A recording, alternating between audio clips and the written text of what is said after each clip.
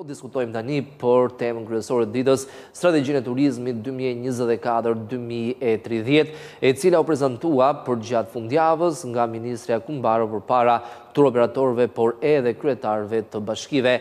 Ne tani kemi në një linjë të drejtpërdrejtë në Skype, zotin Rigez Beqiri, ekspert për çështjet e turizmit.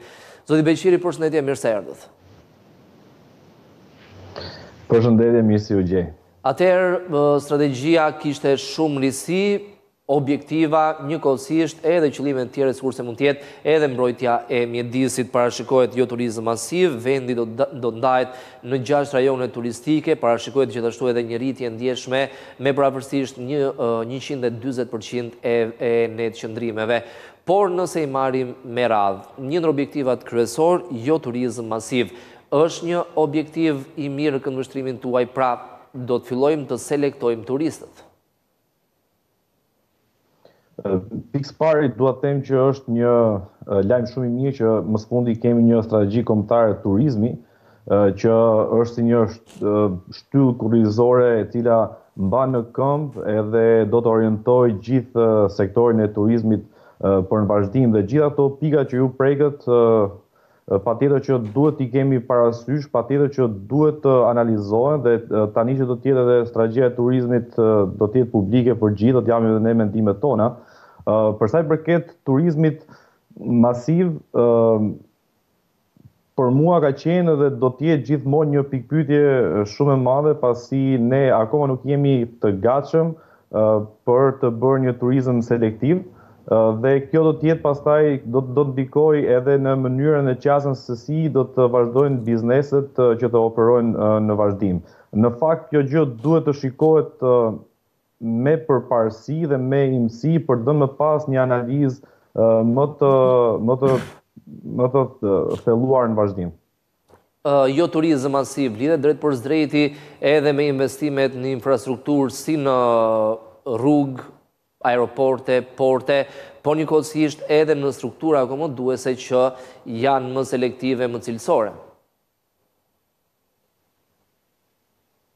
Po, është është e vërtetë. Faktikisht ka edhe shumë resorte të cilët kanë, domethënë, i gjithë i gjithë bregdeti në tërësi është bërë një kantier ndërtimi dhe kemi ndërtime kudo, kryesisht në fshatra turistikë, kryesisht në vila, edhe në hotele me me pesë yje, në të cilat edhe kjo tregon që do të kemi një një turizëm jo masiv, pra një turizëm elitar që pretendohet të bëhet, por sa se sa do të arrihet kjo në në këto 4-5 vite, kjo duhet duhet të shikohet, unë sërish mendoj që do të duhet pak më shumë kohë se sa 2030 po. për të arritur në një turizëm po. elitar. Ndërkohë një objektiv ose tashmë i vendosur Edhe në qëllim përgjatë sezonit të ardhshëm do të jetë menaxhimi i hapësirave apo i çadrave pikërisht nga pushteti vendor. Do të jenë bashkitë ato që do të menaxhojnë duke filluar nga viti i ardhshëm dhe njëkohësisht do të vendoset një çmim tavan.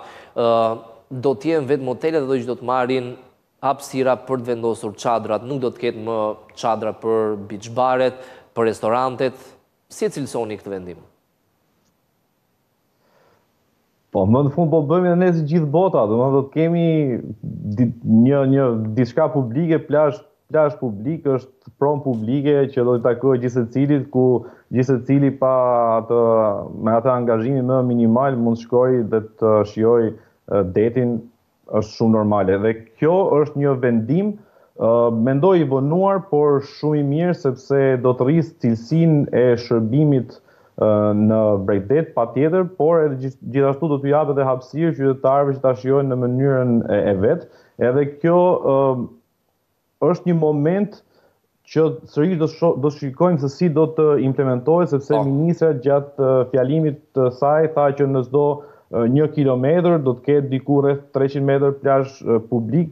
Kjo duhet shihet pak më në detaje çfarë do të thotë ë ministra me këtë që sapo tha do do të thotë që sërish hotelet do të zënë do të zaptojnë pjesën më të madhe të bregdetit Apo do të kemi disa hotele të cilët plotësojnë disa kritere që do të kenë disa disa shezlone në proporcion me me dhomat sepse po të t'i referohemi për shembull Golemit ose po. zonës së së Durrësit aty ka hotele pa fund. Domthonë një hotel mbaron një hotel, fillon një hotel.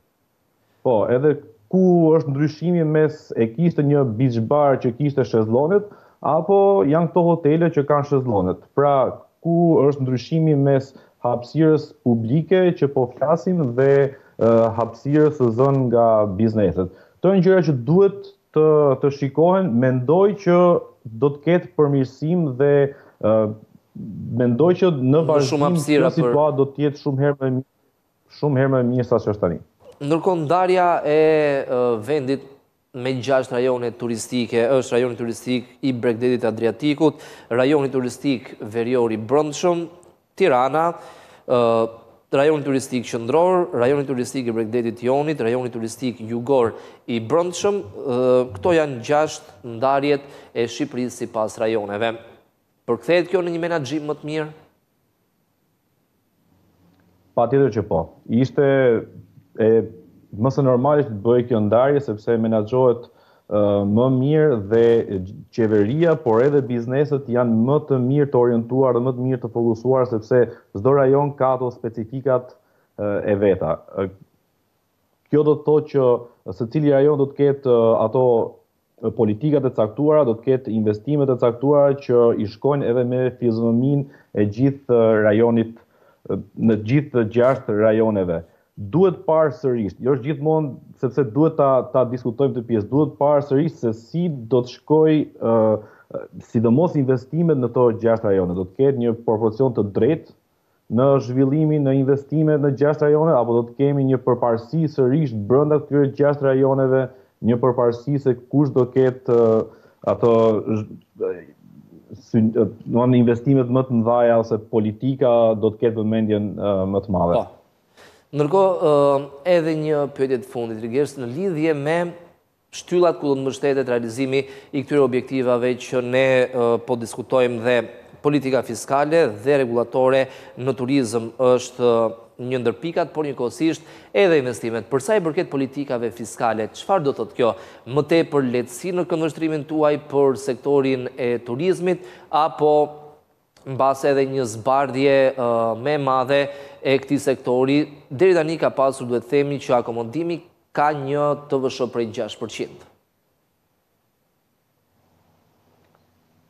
Politika fiskale është ajo thelbi i gjithë i gjithë këtyre manovrave që po bën qeveria sepse realisht industria e turizmit ndodhet në një kaos ku qeveria nuk ka asnjë ose gjitha informacionet që merr janë shumë të pasakta, ka shumë tregu është shumë informal dhe i parregulluar, edhe deri më tani po. qeveria ka ka dhënë ose ka ka nxjerrë herë pas here disa vendime të cilat kanë shkuar gjithmonë janë përplasur me atë realitetin dhe me dhe me biznesin. Kjo ishte edhe tatimi për profesionet e lira që më pas u rrëzua nga nga gjykata dhe këto gjëra ishin që qeveria donte që të mblidhte ca të ardhura nga sektori i turizmit, por ishte i nxituar. Në këtë moment tani mendoj që do të ketë një orientim më të më të mirë, siç e tha edhe ministra, do të ketë për agroturizmin, do të ketë një lehtësi fiskale që është diçka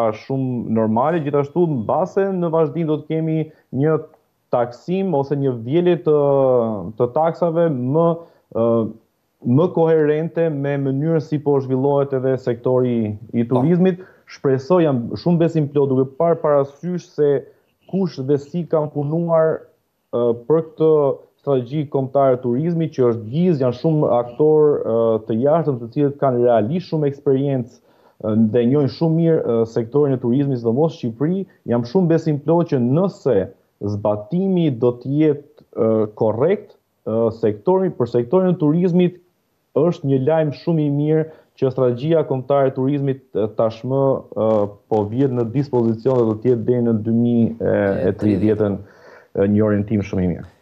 Rigels faleminderit për këtë lidhje drejtpërdrejt në studion e televizionit Skan.